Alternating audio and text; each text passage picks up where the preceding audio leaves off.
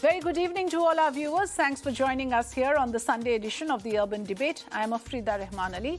Delhi and NCR continue to face a huge pollution emergency. Air quality in the capital has been fluctuating between severe and the very poor category as a deadly blanket of smog engulfs the entire region. So, what has the Delhi government done as an immediate measure? It has made announcements of certain emergency measures Schools to be shut till the 20th of November. Construction activity is halted. People are being advised not to venture out. In a way, the onus is shifting on the citizens to fend for themselves. Delhi government has been using pumps and water sprinklers and smog towers, of course, as a damage control mode to mitigate the impact of the pollution. But that's about it. In terms of preemptive measures, preventive measures, the Delhi government of Aam Aadmi Party is very much on the dock to answer some questions on whether they were sleeping on the job. This is not us here saying this, it's the courts, the top court for that matter, questioning the Delhi government on this situation. Remember, the capital city's air quality is equal to smoking 20 cigarettes a day. This is what has been stated and submitted in court. And therefore, the court has asked the state government whether it will consider some immediate measure, even a lockdown for that matter, must be considered, according to the Chief Justice of India. So, clearly expressing alarm over the situation in the national capital, the Supreme Court has asked the centre and the Delhi government to inform it by Monday if emergency measures should now kick in. It's high time citizens are gasping for breath. Something must be done. Already, like I mentioned, some announcements have been made. But the point of the matter is that the Delhi government has continued to recourse to the stubble burning excuse. For the very first time, you have the environment minister making an admission that internal factors are also responsible. We will play that out uh, for our viewers, but let me introduce our guests this evening joining us here on the Urban Debate. Captain uh, Shalini Singh, spokesperson of the Aam Aadmi Party, Dr. Surajit Chatterjee, senior consultant of Internal Medicine at the Indraprastha uh, Apollo Hospital. Also joining us is Avikal Somvanshi, who's the program manager in the Clean Air Campaign Center for Science and Environment. Very good evening and thank you for joining us. Very warm welcome. But before I go across to my guests, here's what Gopal Rai had to say earlier today. Like I said, for a very first time admitting that it's not just stubble burning. There is more to the Delhi air pollution story. Delhi के अंदर जो मुख्य तौर पर major जो source हैं pollution के, वो तीन है। एक है जो दिल्ली के अंदर का, वो है गाड़ियों का pollution.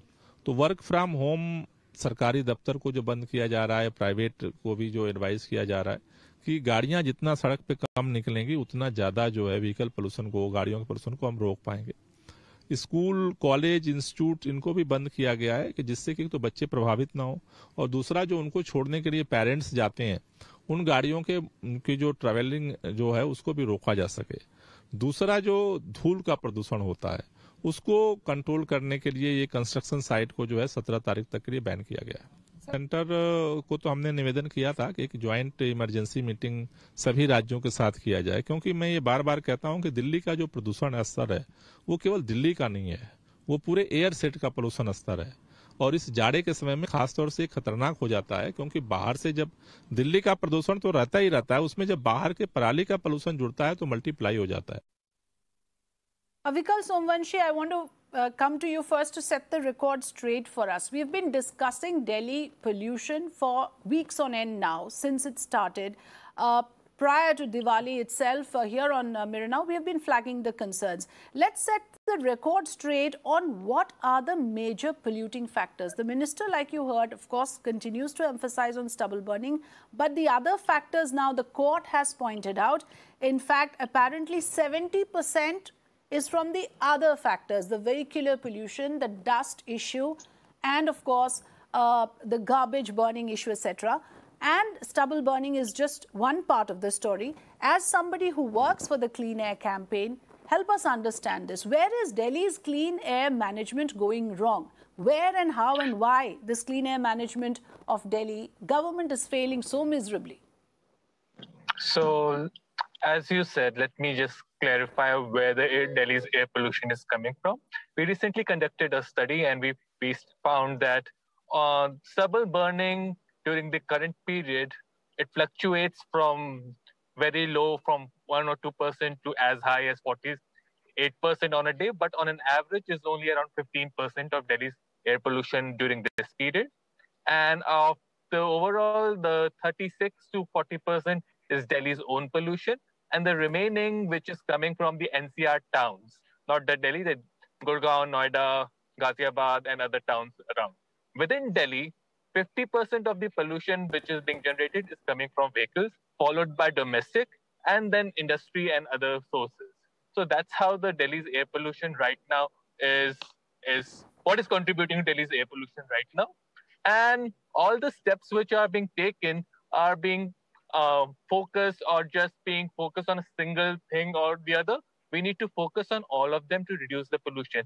Just mm-hmm. reducing Delhi's traffic load and and and congestion will not be enough because a significant chunk of pollution is also coming from congestion in the NCR towns, Noida, Gurgaon, Ghaziabad, even the other towns, Meerut and all. So we need to have a overall plan to clean the air during this time. And as you said rightly, this started 10 days back during Diwali. And we have been shouting that it's emergency level now, we need to take action. And it's very pathetic that the Supreme Court has to intervene for the government to realize to put in place or activate their own plan, which yes. is supposed to be activated during the emergency. Absolutely. Uh, is a lockdown then inevitable now, uh, Shalini? I want to ask you this question that, uh, like Avikal was saying, that the fact of the matter is that it has taken the courts now to tell you that what are you up to? I mean, if nothing else is working, just impose a lockdown, protect the citizens from breathing this toxic air. And sure enough, after that, the Delhi government, as a knee jerk reaction, of course, to what the court has said, it decided, okay, shut down schools get everyone to work from home. This is something you could have done a little earlier before the situation aggravated to this level, Shalini? Good evening, Afrida and all the panelists. Uh, see, uh, what you're saying, I completely agree with it that there was an emergency situation and uh, I'm so sorry. Yeah. So uh, there was an emergency situation and that is why a complete ban was put yesterday or yes. the construction schools were shut and uh, so the, now you're talking of lockdown so what is happening in lockdown is that uh, what the delhi cm has said that he will be checking whether with the technical team he will be uh, discussing it with the department the whether uh, two day lockdown three day lockdown which supreme court has said whether it is feasible or not. Because lockdown definitely comes with an impact so whether that lockdown for two days is going to change things in a big way. But yeah seeing the emergency situation immediate steps have been taken to uh, shut down the schools to uh, are requesting people to work from home in private uh, uh this uh, uh, private corporations and in government offices 100% work from home has been implemented but no, what we were asking is it has taken the courts for you to wake up to the situation, to wake up to the severity of the situation. And this time a lockdown, not to fight the invisible enemy of the virus, but to fight a very visible smog. It has taken the courts to wake up uh, your government in Delhi, Shalini? Okay, so after that, first we have to see that this is uh, Delhi is always targeted in a big way, but we have to understand that this is not only the situation in Delhi, but the entire north of India is right now facing this issue. If you talk of Jaipur, if you talk of Kanpur, if you talk of Banaras, if you talk of uh, a uh, city in Punjab, lot of states, UP, Haryana, Punjab, Rajasthan, all are struggling, and the entire population of these states are struggling with uh, with severe population, uh, sorry, severe pollution problem. Now, why Delhi is targeted? We all know why Delhi is targeted all the time. Delhi government has taken massive steps and they have been doing it from uh, 2020, uh, 2020 electric vehicles were introduced. Now 3.5% of government offices in Delhi government are on electric vehicle lot of measures have been taken by Delhi government. The, uh, there have been 24 by 7 electricity supply where diesel generators have been removed. Construction sites have monitored regularly. So uh, the thermal plants at Badarpur and Rajghat So Captain Shalini Singh, are you saying Delhi government has done everything within its jurisdiction? Everything. And now it is only about whether the other states cooperate or not. And let's not get into this whataboutery about Kanpur and other cities. We are focusing on Delhi for a reason. It's the capital city. And you cannot have this kind of a situation where the citizens are deprived of basic clean air. You know, so please answer that. I mean, you know, you can't uh, give this excuse of we have done everything on our part. Clearly, you haven't. The court is not convinced that you have. No. So, Afrida, I will I will not agree to hear what you are saying. See, Delhi doesn't have uh, air barrier. They don't have walls that they can control the air barrier of all other neighboring states. So NCR and other neighboring states are also equally responsible. Here, the center has to step in and take what uh, what uh, Gopal Raji is also saying that center has to intervene and call an emergency meeting of all the states and everybody has to take it equally the kind of pollution each and every state is so you are pleading helplessness. You are saying in isolation Delhi cannot operate. Everyone has to come in together in this. Stubble burning is not an issue that Delhi alone can handle. And that to that extent, of course, I agree with you that the neighboring states must come in with a collaborative effort. And we fail to understand why this collaboration is not happening. Is it politics? Is it the color of the uh, political party ruling the states that is preventing uh, the, the heads of the government from coming together on such a critical issue? Let me have a, the health expert on the panel also explain to us now. Uh, it was said in court, uh, Dr. Chatterjee, that breathing Delhi air is equivalent to smoking 20 cigarettes a day. Extremely alarming for anyone who's living in Delhi uh, this would come as very bad news for their health and fitness. Uh, can you explain to us uh, what do we mean when we say, you know, it, is it that toxic? Is everyone who is living in Delhi, uh, you know, is uh, now facing this situation of smoking that much in a day? Yeah, it is. The situation is really bad. If you see the air quality index, it is above 300, and it is above 300. It is a disaster. It is actually comes in the range of hazardous and and it can affect when it is in the hazardous range it can even affect people in the uh, with no predisposing disease in them. Like people who are not asthmatics who are young people who have no illnesses they can also be affected. So you see the uh, you you seeing the tracker on your uh, on the screen itself above 300 is really hazardous and yes. it is actually equivalent to smoking 20 cigarettes a day. And uh, each and every one of us staying in this city would be affected once you have air quality like this. Right. And schools now, uh, Dr. Chatterjee, are being ordered to be closed because small children, obviously, they wake up in the morning and they are probably exposed to the worst situation since they have to be out in the open to uh, sort of wait for their school buses, for the transport to arrive. But do you think this is the solution that you would like to suggest as a health expert from your end? What do you see, uh, you know, as the immediate measure that should be taken in short term and uh, in the long term to address uh, this situation? Short term, these steps might be just just be taken, but they still might be inadequate to take care of the air pollution. What I would really expect that we see it every year for the last so many years staying in Delhi I have been in Delhi for the last 30 years and we see it for the last five, seven years. Every year, this is a problem.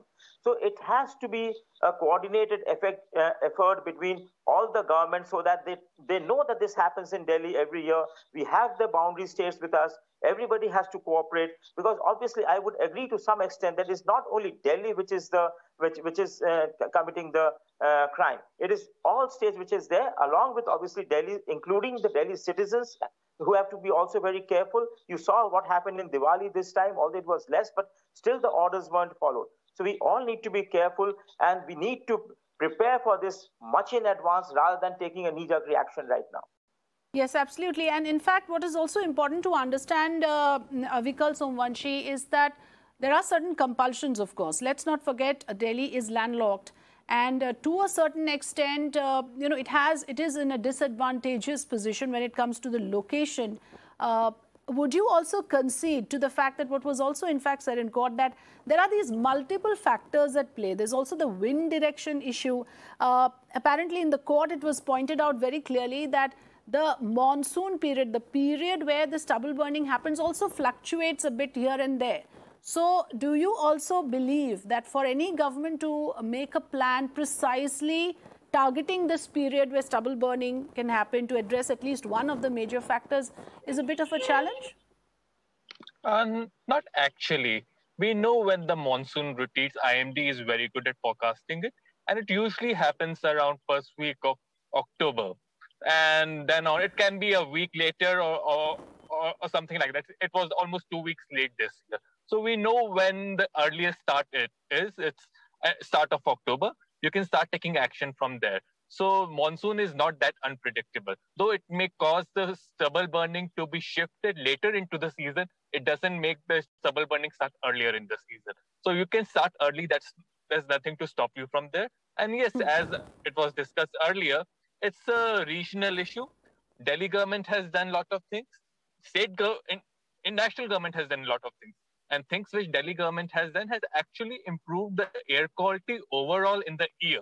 So summer and monsoons are cleaner this this year. Yes. But because of the really uh, unfortunate incidents that the weather, Diwali, and the local pollutions that steps were not taken this year like they were taken few years back, this has resulted into this catastrophe which has happened.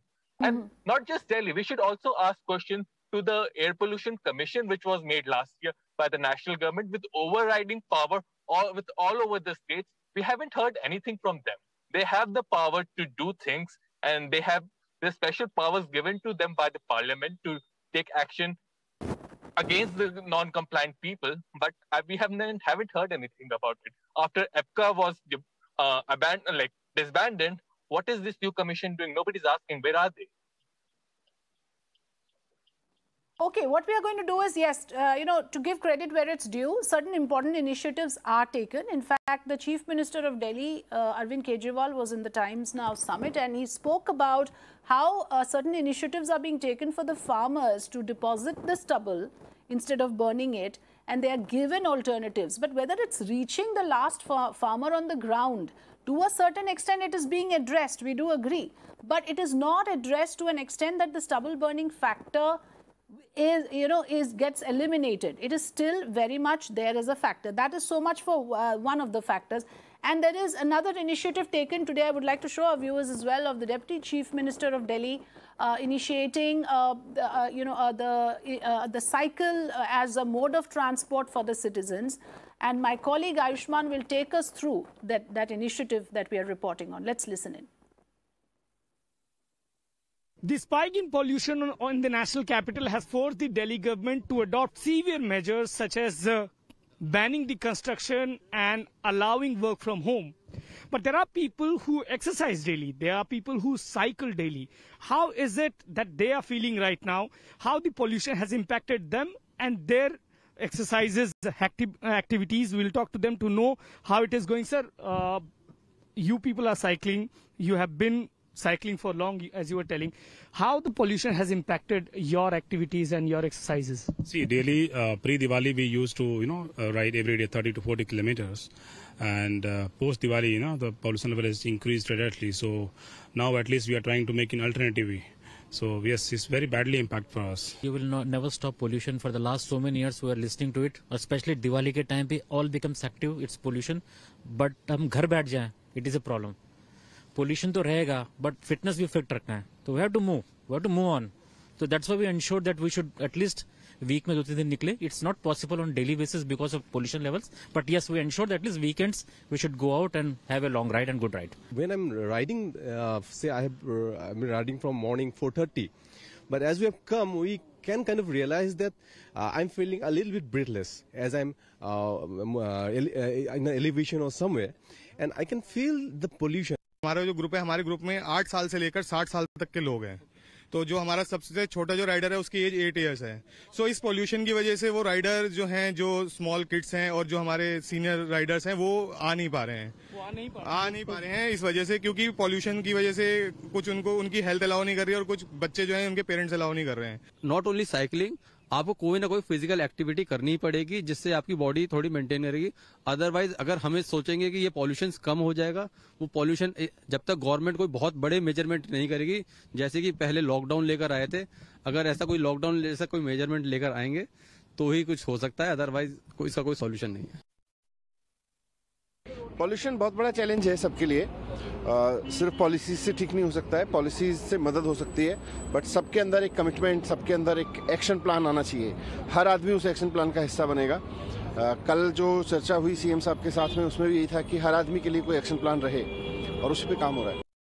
So that was Delhi Deputy uh, CM Manish Sisodia flagging off the cycle rally at the West Vinod Nagar in Patparganj in Delhi. And prior to that, the citizens, the fitness conscious citizens uh, who want to beat all odds and, you know, venture out. You can't keep people locked in their homes.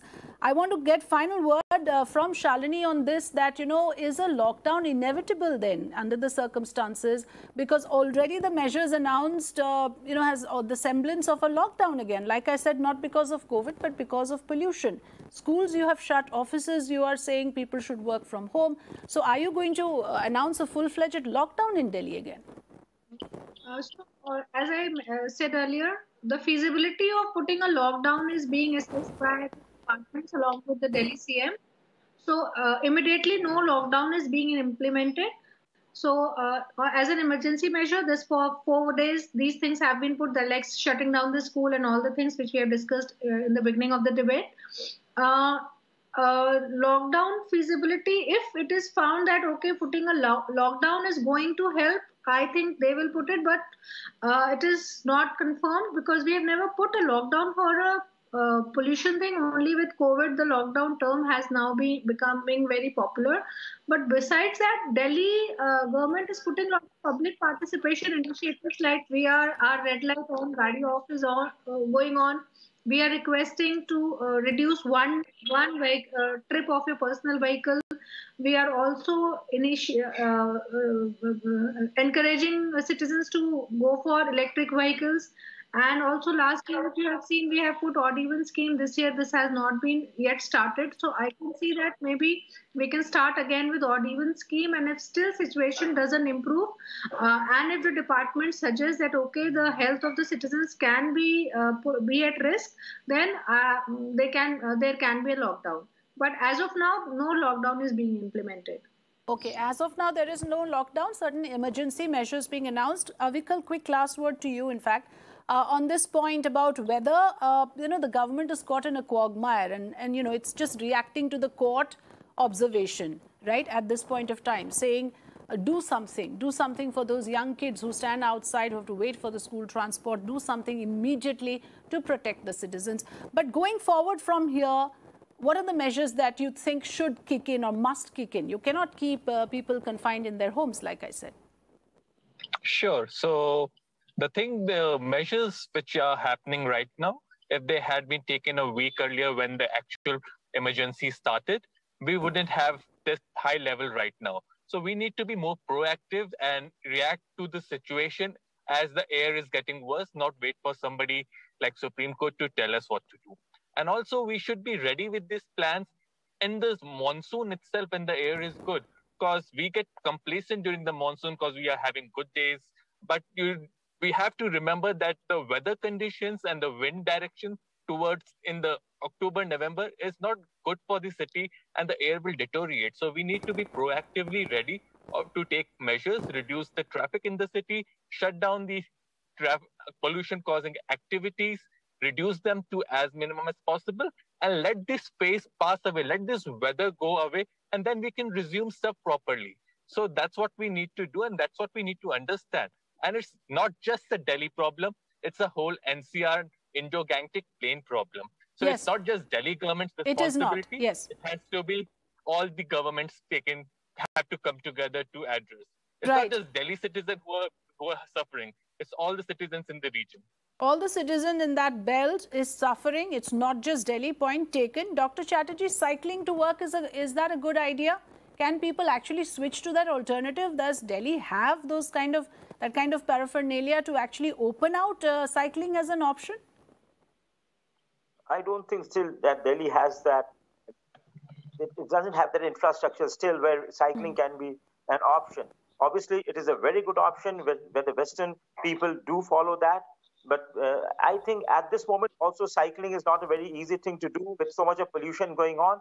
But yes, the infrastructure can be elevated to a level where cycling can become an option, especially for people who stay close by. But then, then there has to be different type of road uh, alignments and everything to allow this. At this moment, I don't think that cycling is a very uh, safe option in this city. Okay, not a safe option at the moment. So the Delhi government, if it is thinking of pushing that responsibility to people to reduce vehicular pollution, uh, as per the expert here, not immediately, not until the air quality gets better. So we'll have to leave it at that for now. But what is important here is that for every issue now, judiciary is having to pitch in, is having to tell the elected government what to do.